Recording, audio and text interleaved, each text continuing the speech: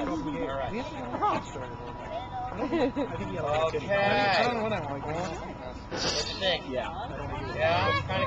was worried he'd want the flip. no, animal. Oh.